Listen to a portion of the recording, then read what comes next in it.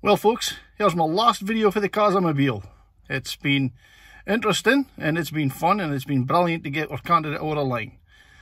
But my dad's sicking his truck back for moving sticks and rubbish and things like that, so I've got to disassemble it. So it's been fantastic to ging about the community, get the waves and the nice and nice hand gestures for our opposition. And looking forward to this next journey out for whatever the next campaign is.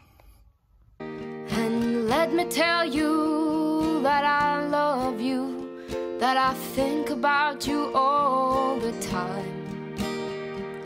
Caledonia's been calling me.